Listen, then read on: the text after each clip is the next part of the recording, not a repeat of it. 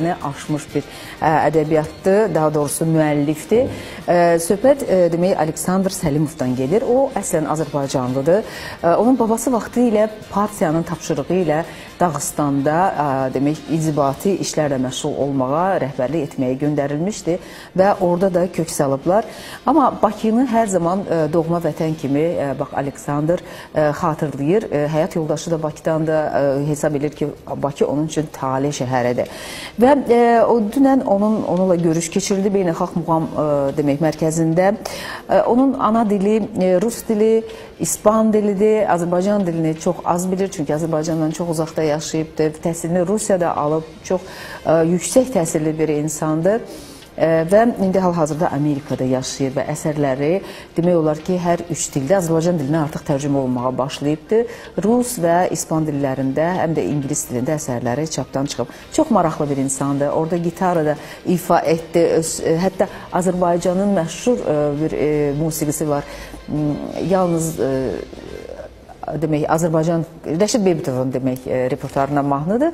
E, Ancaq sevdiyim e, qızın belə gözəl gözləri ola bilər. Belə bir mahnıdır.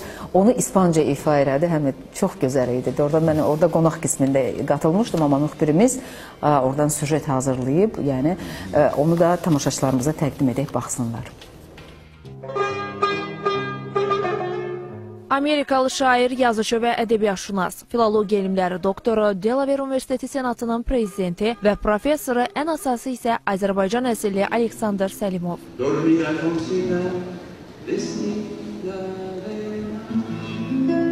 1963-cü ildə ziyalı ailəsində anadan olan Aleksandr Səlimov rus, ingilis, fransız və ispan dillərini mükəmməl bilməklə yanaşı, həm də bu dillərdə yazıb yaradır. Onun yaradıcılığının ən təsirli, bəlkə də ən gözəl şeiri isə Xocalı hadisələrindən təsirlənərək yazdığı Qarabağ şeiridir. Bu şeirin ispan dilində qələm alınması isə Qarabağ hadisələrinin ispan dilli oxuculara çatdırılması məqsədi daşıyır.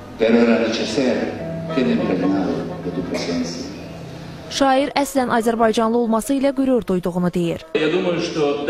Düşünürəm ki, hətta əgər mənim babam 1938-ci ildə işi ilə əlaqədar Dağıstana köçməsəydi belə, mən yenə də gəlib Bakını tapardım. Ona görə yox ki, bu Qafqazın ən böyük və ən gözəl şəhəridir. Sadəcə ona görə ki, bura Bakıdır. Doğma köklər və sevgi məni Bakıya gətirdi və mən burada evləndim, ailə qurdum. Burada çoxlu qohumlarım var. Mən hər zaman Bakıya qayıtmağıma şad oluram və bu mənim üçün böyük sevincdir. Bundan başqa Aleksandr Səlimov onun yaradıcılığı ilə tanış olmağa gələnlər üçün musiqiyə olan marağını da nümayiş etdirdi.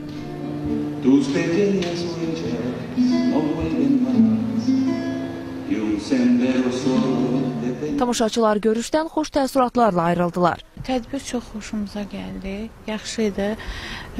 Bizim Azərbaycanımızın fəxri idi ki, belə insanlarımız var bizim. Bizi Azərbaycan təmsil eləyir başqa ölkələrdə, Amerikada, İtaliyada və belə tədbirlərin çox olmasını çox istəyərdik və bu da bizim vətəndaşların vətənpərvərlik hissini daha da yüksəldir. şeiri var, Qarabağdan yazır.